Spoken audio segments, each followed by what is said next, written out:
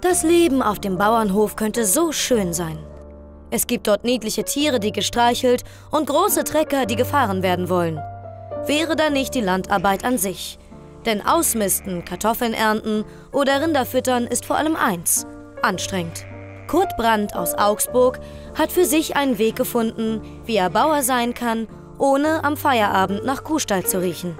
Er spielt das Computerspiel Landwirtschaftssimulator 2013.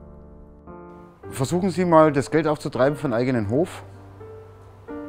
Das Spiel ist doch lieber für 19 Euro im Monat. Oder einmalig 19 Euro oder 20 Euro, dann haben wir einen ganzen Hof mit Maschinen. Gut, es ist nicht realistisch äh, zu 100 Prozent, aber ich kann mir jetzt nicht vorstellen, selber, ich spiele das Spiel gerne, aber ich kann mir nicht vorstellen, tagtäglich jetzt auf dem Hof zu arbeiten. Mit seiner Leidenschaft ist Kurt nicht allein. Über zwei Millionen Mal wurde das Spiel bis heute verkauft. Und neben dem Bestseller Landwirtschaftssimulator gibt es noch weitere Highlights des Slow Gamings. Den Bussimulator etwa, den Kehrmaschinensimulator, den Wuppertaler Schwebebahnsimulator oder den Eurotruck-Simulator. Die Spiele zelebrieren das alltägliche Berufsleben mit seiner ganzen Routine und Langeweile. Stundenlang und in Echtzeit ernten die Fans Mais, reinigen Gehwege oder transportieren Stückgut von Öhr-Erkenschwick nach Bernkastel-Kues. Für den Marktführer Astragon aus Mönchengladbach ist das ein gutes Geschäft. Und Wartezeiten innerhalb der Spiele sind nicht etwa Programmierfehler, sondern Absicht. Es ist in der Tat ein Teil des Konzeptes, wenn gewisse Dinge in einer Simulation gemacht werden sollen, die es in anderen Spielen so nicht gibt. Zum Beispiel halt eben, dass man wirklich in der Tat einen Knopf drücken muss, um eine Maschine zu starten und dann vielleicht sogar ein paar Sekunden warten muss, bis die Maschine warm gelaufen ist, bevor man mit der Maschine fahren kann. Und äh, das ist halt eben das, was unsere Spieler dann auch von diesen Maschinen erwarten, dass diese Maschinen dann sich wie in der Realität verhalten.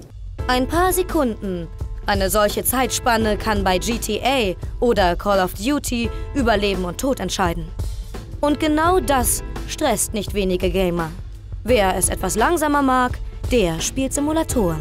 Wir haben einfach wirklich die Erfahrung gemacht, dass das viele Leute äh, verblüffenderweise als Entspannung empfinden. Einfach wirklich zu sagen, ich möchte jetzt eine halbe Stunde lang nichts anderes machen, als ähm, einen Acker zum Beispiel zu pflügen oder etwas zu säen. In der Hackordnung der Games-Welt stehen Simulatorenspieler ziemlich weit unten. Alleine bei YouTube gibt es unzählige Videos, in denen sich über die virtuellen Bauern, Busfahrer und Bauarbeiter lustig gemacht wird. Ein zu leichtes Ziel findet der Computerwissenschaftler Lasse Scherfig mit Blick auf die Computerspielhistorie. Da scheint so eine Auseinandersetzung mit Raum und Zeit auf, die eigentlich den Titel Echtzeit vielleicht verdient, der früher immer für möglichst schnell und möglichst ähm, actionreich äh, in Echtzeitstrategiespielen zum Beispiel benutzt wurde. Und ähm, wobei immer vergessen wurde, dass Echtzeit eben auch Langeweile bedeutet. Da sind so ähm, Alltagssimulatoren eigentlich in der Tradition von so künstlerischen Ansätzen, die schon sehr lange versucht haben, immer wieder Monotonie und Eintönigkeit und Warten als Spielhandlungen rauszuarbeiten.